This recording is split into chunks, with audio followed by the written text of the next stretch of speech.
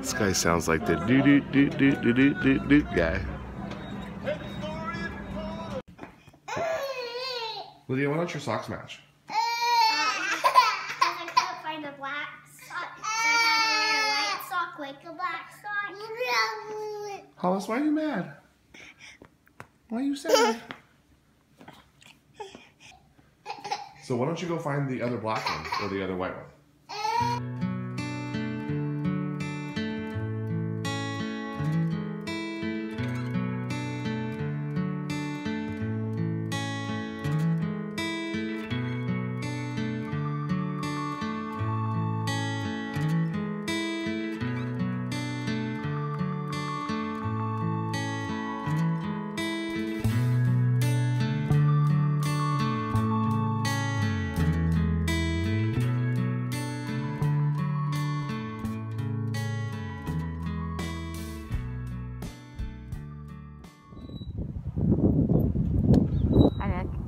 Hi, Amber.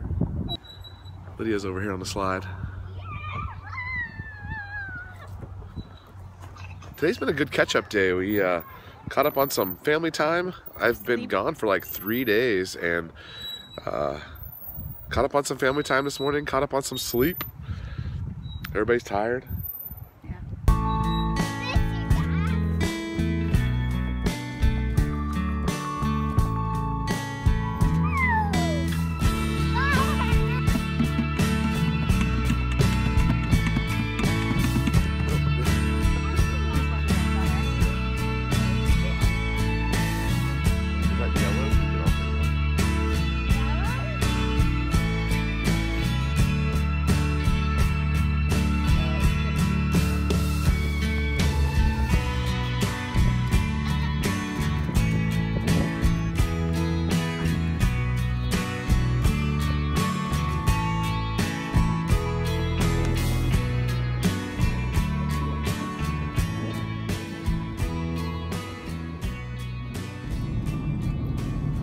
All right, so I'm off again to another set of games. Tonight is the last game in our tournament.